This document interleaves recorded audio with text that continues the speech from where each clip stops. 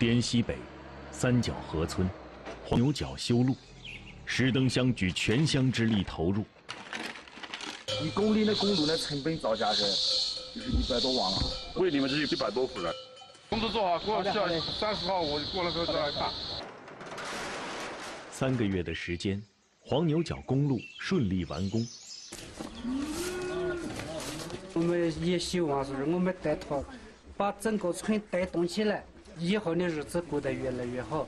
二零二一年，兰平县乡村振兴全面推进，三角河村又将有哪些行动？攻坚日记继续记录。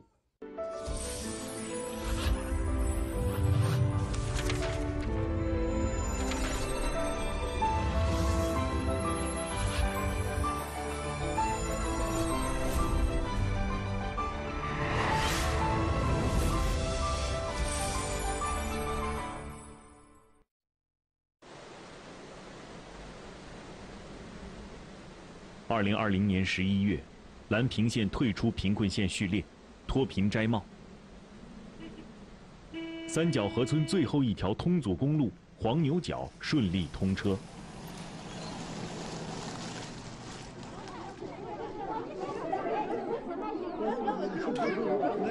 小寒时节刚过，黄牛角村召开通路之后的第一次村民大会。我得跑步第一件事情嘛，你就你我嘛就是说哈，嘛都说用你吃的。我得遇遇到你吃不饱的嘛，我忘了嘛。我修缮。这节课嘛，最好一家庭卫生嘛，你就要贴贴试试。除热练，是九八年。脱贫之后，乡村建设工作加强，环境卫生整治，个人卫生习惯的改变成为重点。尤其对十几年不洗澡、几个月不洗脸的村民，要上门劝解。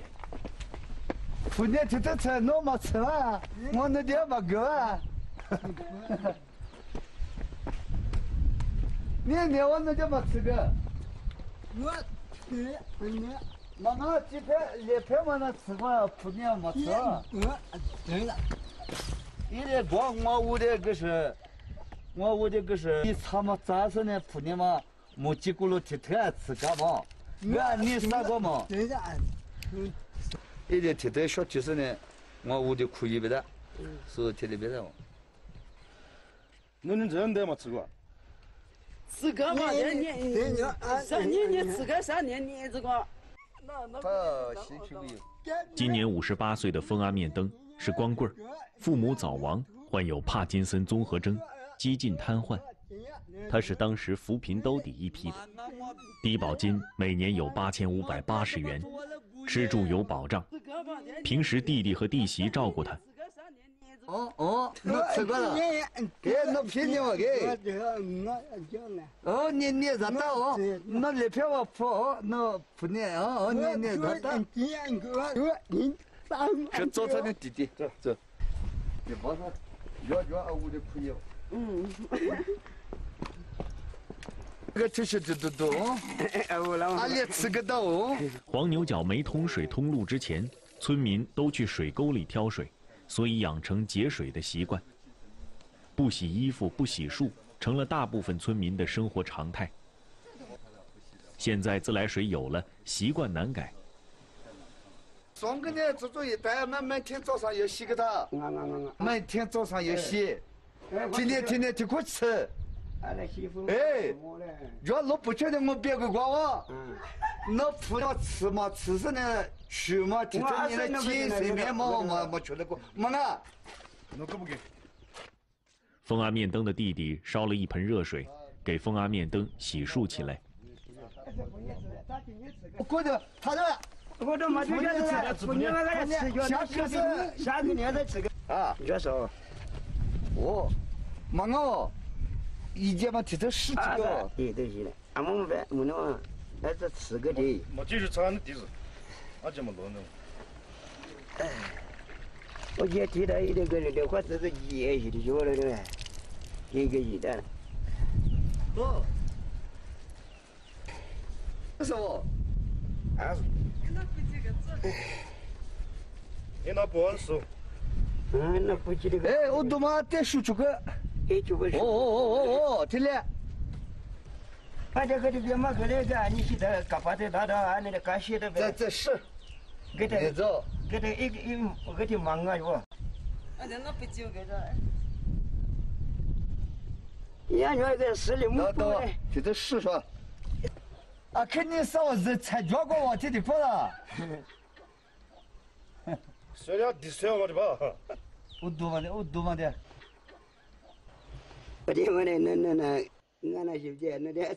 洗干净脸的风阿面灯精神了很多。这里好不见嘛见？热，热过了。热你你你，他听见了。下个我拉到他也在吃上。我就我没听着你见不见？我故意的。这你打两个。那你们自己过来哦，不知道啊。可是我我别村党总支书记于兴堂和风阿面灯聊得十分开心，一起哼起傈僳族的歌曲。我可是。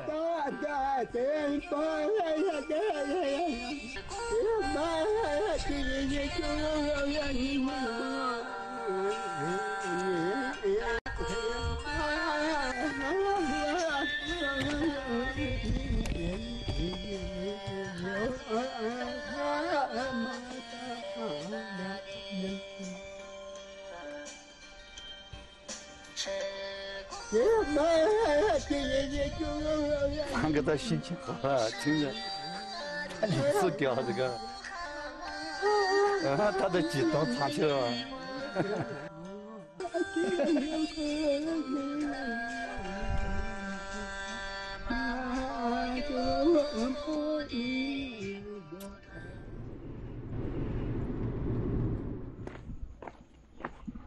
前段时间有点忙。何立文很久没来丈母娘家了。那个太少了，是啊，少个干的那个我看着。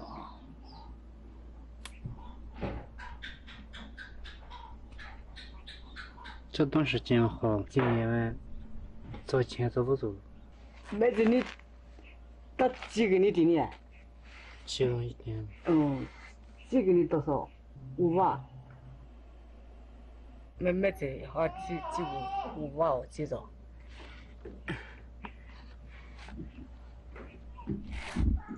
听说自己小女儿借给何立文五万元，一直都没还，何立文丈母娘又心疼小女儿。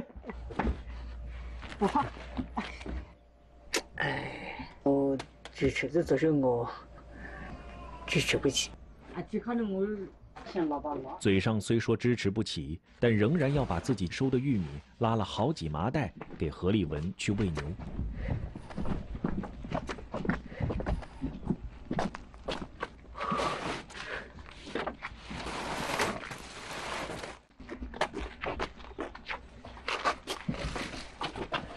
虽然2020年牛场没有赔钱，但是修牛圈、买饲料等，又投进去了几十万元。何立文觉得压力很大。何立文想发展能快速盈利的产业。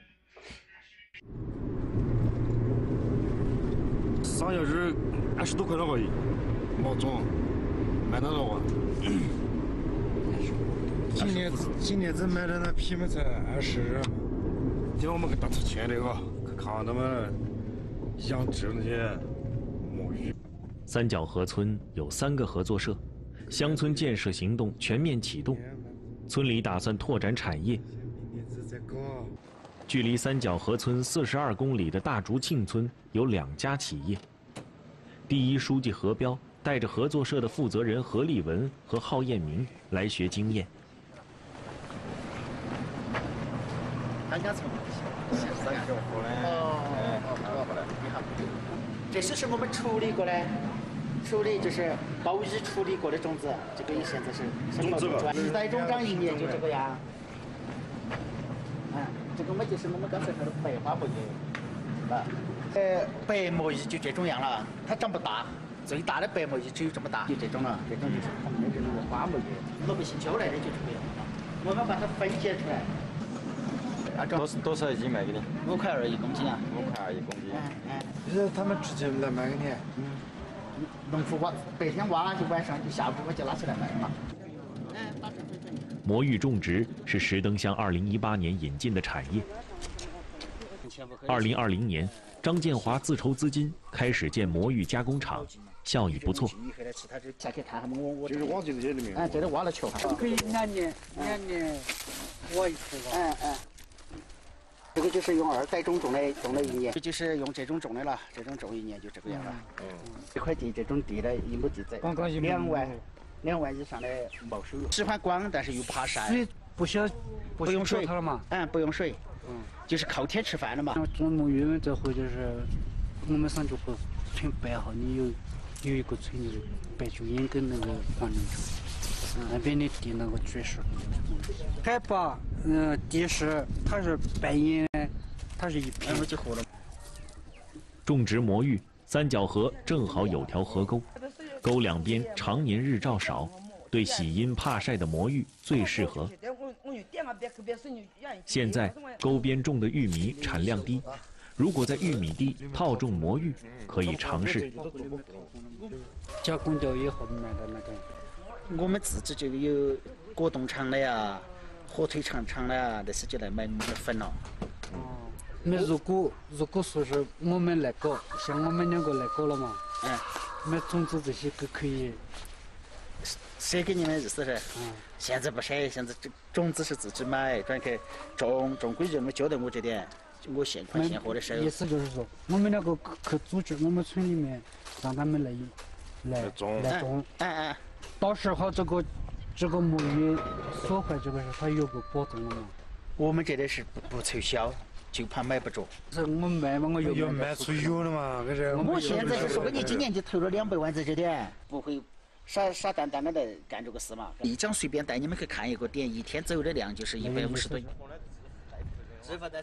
大竹庆村另一家企业生产香菇，年销售额上百万元，这让何立文他们动了心。第一次已经摘完了，已经销售了，已经达到十三对半了。已经达到十五万多块钱了，一季四十不呀，才一季四十天，我们一级股已经卖到这个是一件一线卖到多少？选股十七块钱一市斤啊，啊，钢股达到一百块钱一市斤。一听这生意经，何立文和郝艳明都来了兴趣。这做什么？我们做营销，如何更早？这个是自己的事了。你是捂在家里面赚什么钱？哪个要对不对？必须要做，必须要跑出来。我投，我想投入五百万。嗯，不是，问题是你有五百万吗？有没有是是想办法的嘛。我这个，我们也就是说，几千块开始，一点一滴啊，跌跌撞撞，哎呀，过去年是是，也是很多事情是是故事是讲不完的。哎呀，难搞呢，特别是今年啊，春节前哈让我崩溃了，出是出不去，我们是既可以厂里面，就给不成，最后全部落在卷巴上，全部消费。一次税是多少？两百万。何立文把发农户一起养牛的想法跟李正良探讨，但遭到了李正良的反对。我们也在回想，我们说是哎呀，把我们的牛啊、羊这些，把整个村发动起来，我把把把这个牛投入到这个农河。农户。它里面的河水相当深，船的是相当冷，这也确实冷。这次考察，何立文和郝彦明都有了很多启发。这是生产卷把卷装，这就是我们。不管哪个做什么产业来看着也好，发觉这个做产业这个是比较艰难的。跌倒跌倒再爬起来。我们就是我们像这种都跑下们，都是都都讲都听下故事个人，像这种对我们也有好处嘛。半年前，何立文和驻村工作队员何彩云为动员黄牛角的村民加入合作社，一起养牛，到过封美生家。可封美生觉得村里不通路，条件太差，最终决定外出打工。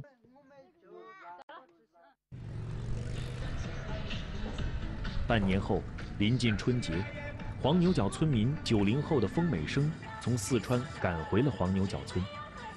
让他没想到的是，以前三个小时的路，今年骑摩托车四十分钟就到了家门口。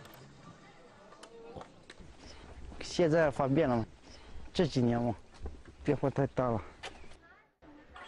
封美生赶着腊月初八这天回家，因为家里要忙一件大事。按照黄牛角傈僳族的习俗，腊八节是杀年猪的大日子。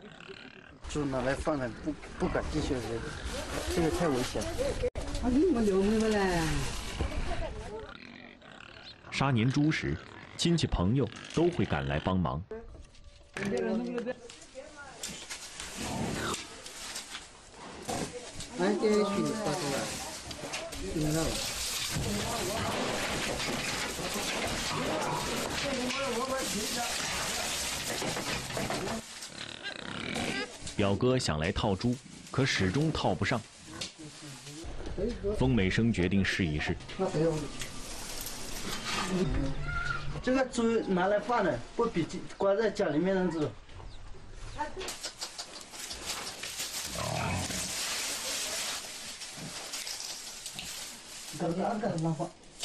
不对，那大水说，大点，大点，大点，抓呀，对对。把它给那就出来，是这个黄毛的。哎呀，这这回来嘛，是这个嘛。这玩意儿这不多，拿着。啊，怎么的？怎么的？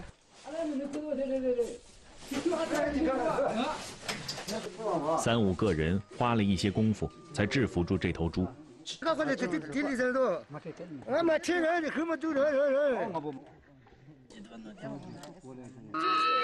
阿爹，自己玩。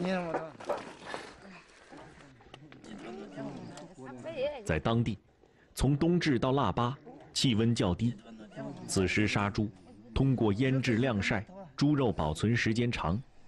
走走走，这这这这这子，我你媳妇。这不给呗。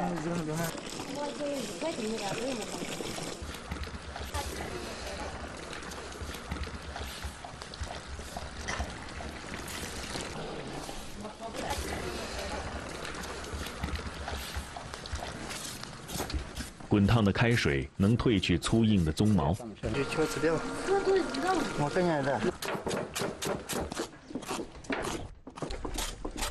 吃掉。我跟你的。别吃花猪了。都开了我了，啊，是等你拿个是吧？我的。那我到现在没吃。哇，那那鸡肉。那个鸡我专门就我了。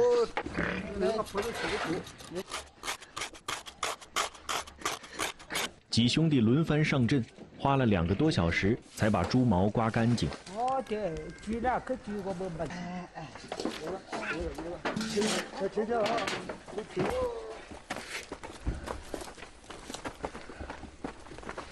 啊，手机手机，把包开开走了，不要开了。我我我这个就是这个，让我给你过去去给你。黄牛角村的傈僳族人还延续着祖先们的生活习俗。年猪的后腿取出一块半球形的肉，由于外形像民间传说的元宝，俗称元宝肉。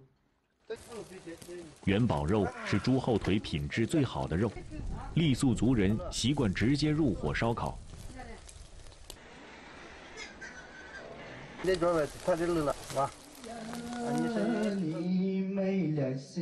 烤肉的空隙，风美生拉着表哥唱歌。家里新添了音响，风美声还是第一次使用。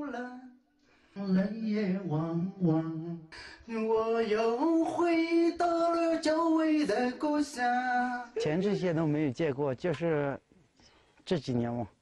变化太大了，条件好了很多，不止一点点好了很多。对国家真的很好，国家对我们很好。现在条件越来越改变了嘛，现在呢，最主要房子、厕所啊这些都修得挺好的，舒服多了。现在跟城里面跟我们都是一差不多一样了嘛。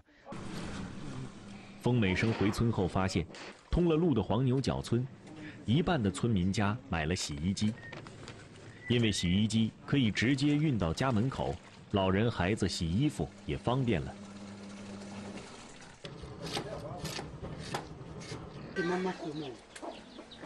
烤肉差不多熟了，最先烤出来的要给长辈和孩子们吃。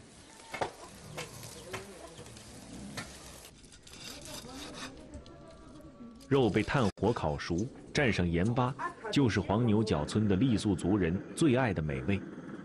嘎叫木瓜瓜嘎，花扎嘎，就不多嘎，啥了什么？喝不？他他就会唱，这时候这个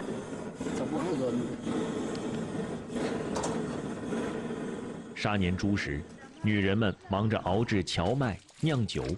这是傈僳族人过年最喜欢喝的酒。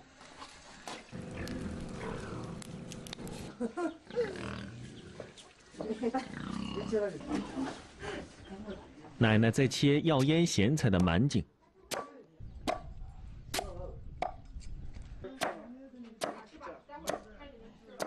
嫂子的荞麦已经煮熟，等着发酵。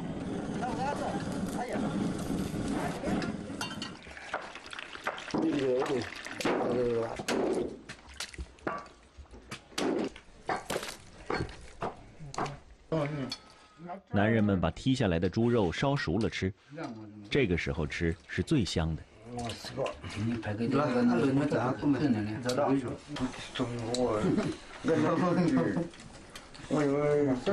哎，换点真是个，妈，弄换点种的哟。嗯，这么吃。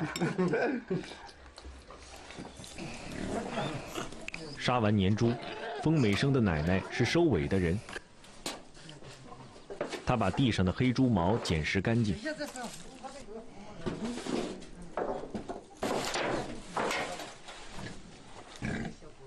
在黄牛角村，黑猪毛是能当钱用的。那你就办，他给我一个，一个一件。啊啦啦啦！我那是。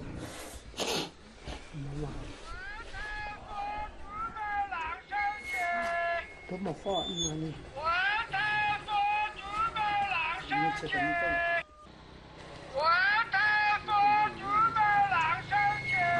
黄牛角村如今还有货郎来收猪毛，是货郎的主要收入。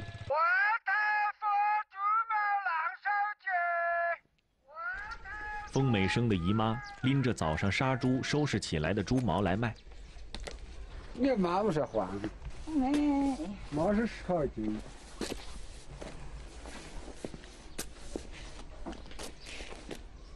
麻木观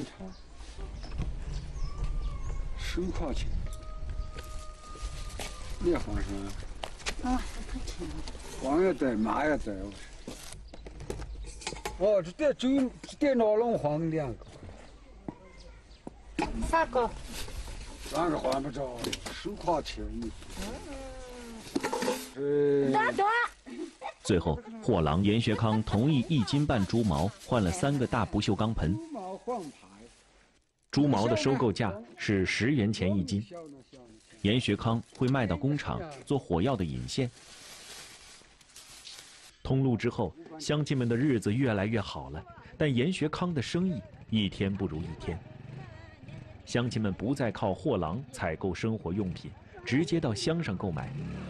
他知道，货郎这营生即将消失。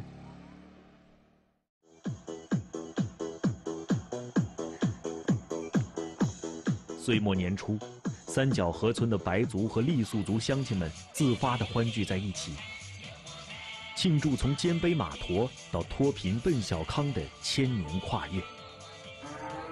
何立文的牛场已经步入了正轨。异地搬迁户在新房子里过上了幸福的生活，高兴了。三角河村的乡亲们知道，脱贫摘帽不是终点，而是新生活、新奋斗的起点。